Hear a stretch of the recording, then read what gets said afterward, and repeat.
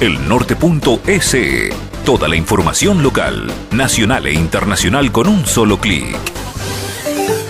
Que luego de la evaluación y el proceso de selección, el CATI fue aprobado como centro especializado de recuperación de puntos. Como ustedes conocen, hay eh, muchos eh, conductores profesionales particularmente que ya perdieron todos sus puntos y eso les ha obligado a que no puedan trabajar. El esfuerzo del el CATI ha dado resultados.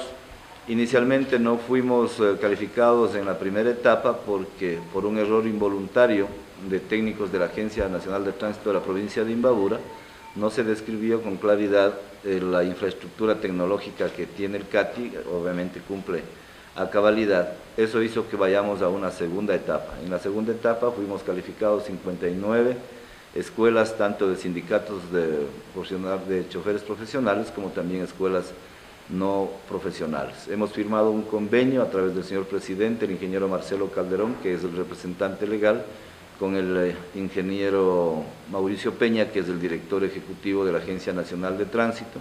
Este convenio tiene una vigencia de un año y luego se procederá a la renovación eh, una vez demostrada la capacidad y el cumplimiento de todas las obligaciones que este convenio igualmente conlleva.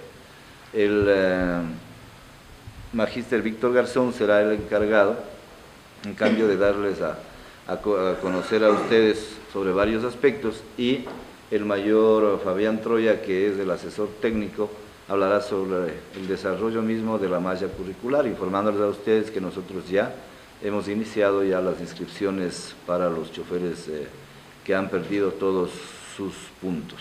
Que esta capacitación está compuesta de 30 horas, 16 horas de educación vial, 10 horas de estudio de casos prácticos, 2 horas de primeros auxilios y 2 horas de psicología. Durante 15 días laborables, de lunes a viernes, y 2 horas de clase.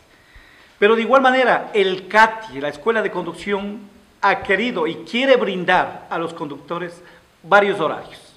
Entre ellos tenemos tres horarios de lunes a viernes. Desde las 12 horas a 14 horas un primer horario. Un segundo horario de las 3 de la tarde a 5 de la tarde.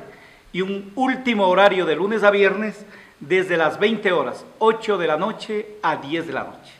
Pero de igual manera tenemos los fines de semana.